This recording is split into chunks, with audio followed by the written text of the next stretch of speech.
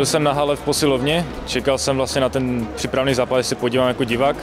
A Michal mi nabídl eh, pár minut v zápase, tak jsem se dostal do zápasu a jsem za to rád. Utkání jako, jako super, samozřejmě za Ačku jsem rád, že si můžu zahrát, a je to rozhodně něco jiného než, než dorost.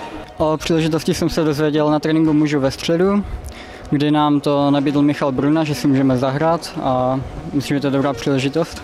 Tak bylo to těžší než ve starším dorostu, souboje, rychlost, dynamika, všechno, ale myslím, že fajné zkušenosti jsem si z tohohle zápasu vzal a doufám, že mi to pomůže v budoucnu. Dneska jsem hrál velice dobře, celkem si říkám, že se mi dařilo. Byl jsem rád za tuto příležitost a díky trenérovi, že mi dal tuto příležitost hrát za muže. No, měl jsem normálně mi trénink se starším dorostem ve středu, ale napsal mi Nemo, že mám přijít s mužema. A tam na po tréninku nám řekli, že máme hrát záčko. ho mohlo to být určitě lepší, ale tak nestěžuji si.